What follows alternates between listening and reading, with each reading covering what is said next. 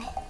I want you to look the next stranger who calls you a faggot in the eye Here's the and tell him that he's a bottom feeding piece of good shit. and that as a faggot, Right, you know how to do a lot of things to I a don't get along with everyone. One of which is kicking. I have and that he high should walls sleep with his third eye open because you're coming for him in his worst nightmare. And if he that has a makes me problem a with bitch, that, he can drop and give you 20 blowjobs. And It's just occasionally something that some people have to people put up get with. tired of like that. HPV circumcised use men. your brain. But if your and brain gives you permission to use your balls, and use those anymore. too. And it wasn't much fun anymore. And we weren't being very good friends to each other. Best part about being gay is you don't have to be drunk to stick up for yourself. Tell me I'm wrong.